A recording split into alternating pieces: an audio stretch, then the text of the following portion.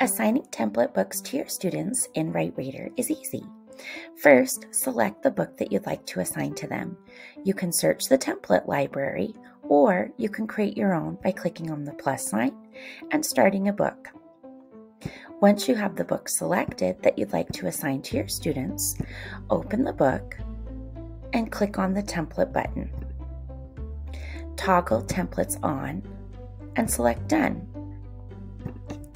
Now, when your students click the plus sign, they'll see that template and be able to open that book and make their own copy of the template that you've assigned. If you'd like to see which templates are assigned to that particular class, click on the class books and scroll down to template books.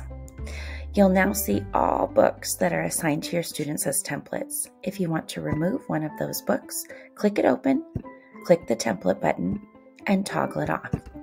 Now, students will no longer see that book as a template when they click on the plus sign.